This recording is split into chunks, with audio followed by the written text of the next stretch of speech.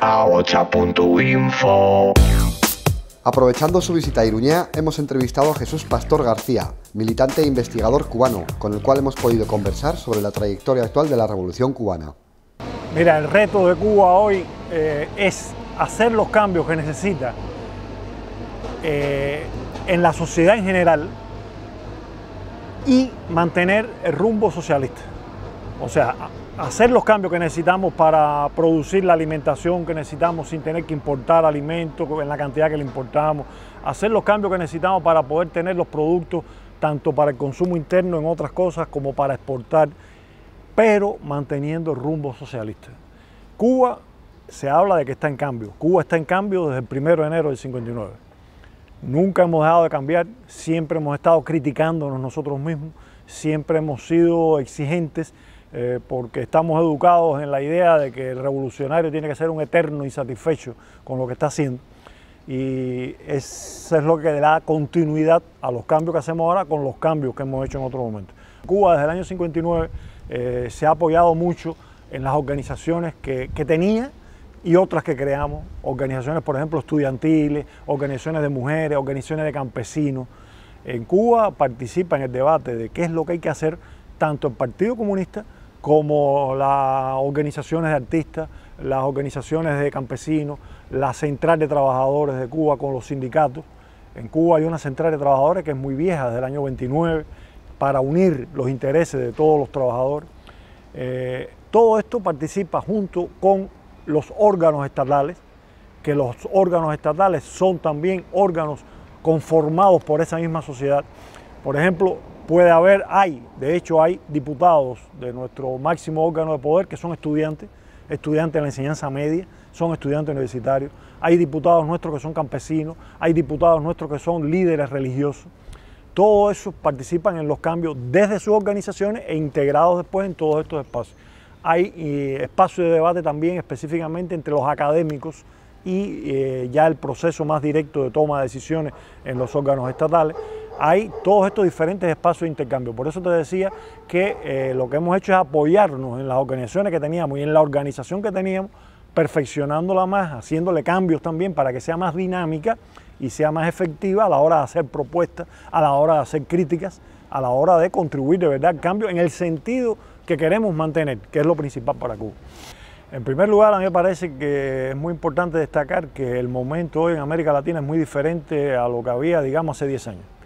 En América Latina eh, yo creo que es indiscutible, no, es, eh, no sería falta de modestia decir que el triunfo de la Revolución Cubana significó un momento de cambio, pero significó un momento muy importante de cambio la Revolución Bolivariana.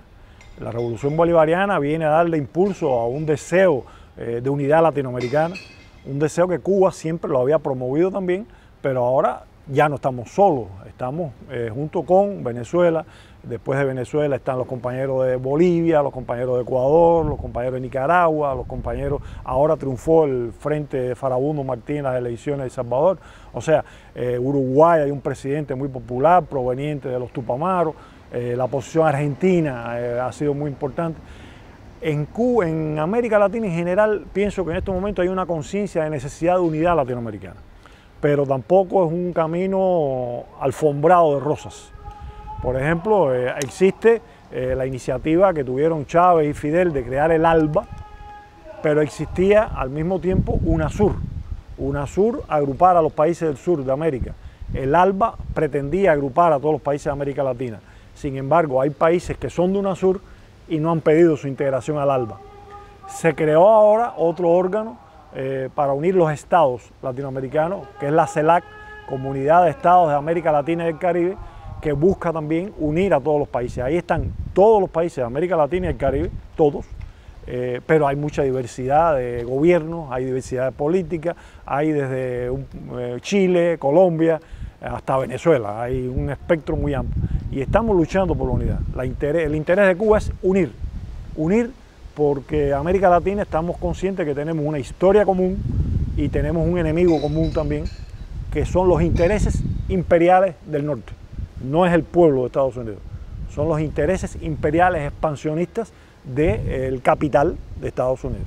Entonces lo importante, lo estratégico, lo que Cuba siempre ha apoyado y va a seguir apoyando es la unidad de América Latina en contra de esos intereses que pensamos que son también en contra de los intereses que en el mundo existen en ese sentido también, porque lo que logra América Latina de unidad, lo que logra América Latina de fortalecimiento va a ser positivo para las fuerzas de cambio en otras regiones también.